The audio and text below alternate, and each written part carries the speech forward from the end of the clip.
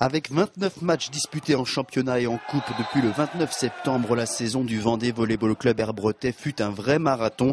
Samedi, ce sera le sprint final. Les Herbretais font partie des quatre équipes de N1, toujours en course pour l'accession en Ligue B. Quatre équipes pour deux places. Les Vendéens ont leur destin entre leurs mains. Une victoire 3-7 à 0 ou 3-7 à 1 à Paris leur suffit. Nous euh, qui sommes sur le terrain, on va essayer tout simplement de, faire notre boulot jusqu'au bout hein, et d'essayer de finir le plus haut possible. Et puis après, euh, bah, l'autre partie, euh, elle ne relève pas de nos compétences.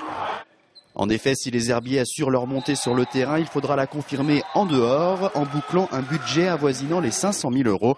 En attendant, les joueurs sont concentrés sur le match de samedi face à Paris. Un match à double enjeu, car en cas de victoire et de résultats favorables dans les autres rencontres, les Herbretais pourraient également décrocher le titre de champion de France de N1. Ça dépend pas que de nous, mais on a quand même un gros coup à jouer à Paris et j'espère qu'on va gagner.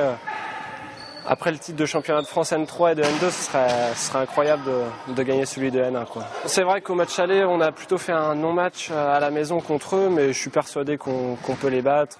Ceux que l'on surnomme les guerriers du bocage ou encore les Spartiates rêvent tous d'une nouvelle accession.